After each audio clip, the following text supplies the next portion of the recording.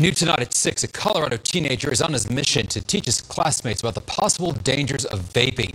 As Denver 7's Jennifer Kovaleski reports, it's now common practice in some of our metro schools. To most teens these days, smoking is gross.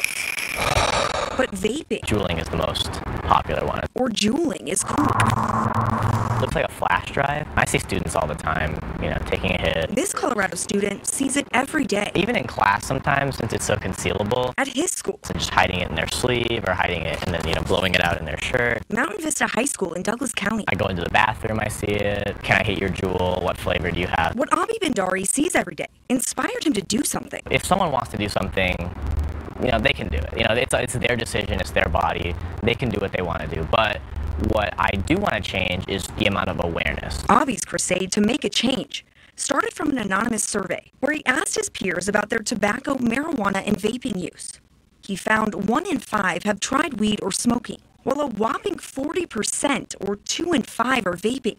I was astounded, right? And so that's really where I was like, okay, I need to do something about this which led to this blog. What are the bodily harms of vaping? What encourages students to vape? What does high school vaping look like in Colorado? Vaping is a really, really big problem. Is part of an epidemic playing out at high schools across the state. A recent CDC study found more than a quarter of Colorado high schoolers are vaping or using e-cigs, and almost 6% say they use them often. I've heard it almost consistently every time.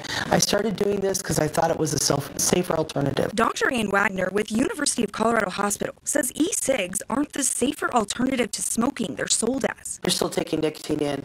There's still a substance going into their lungs. It's still bad for their health. A lot of students don't even know that they just believe that they're doing something really fun, but then you know they end up getting addicted. For this 16-year-old, going on 30. I just want to make a change, you know, and um, if that makes me wise beyond my years, then that's pretty cool. That's pretty cool. His goal is not to be his classmates' nanny. He just wants to help teens understand what they're putting in their bodies. Helping the school with uh, making a poster to kind of outline bullet point different uh, consequences of vaping uh, long term. Before they ever hit that Juul they think is cool. Know what you're doing and decide, you know, look at look at all the harms, look at all the benefits and decide from there if you still want to do it.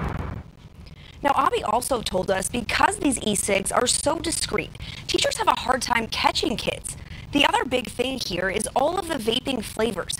You can get mango, mint, even cream brulee.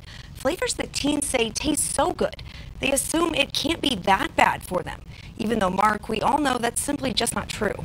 At least he is being proactive, Jen. He is, he is. He's doing a lot. All right, Jen, thanks very much.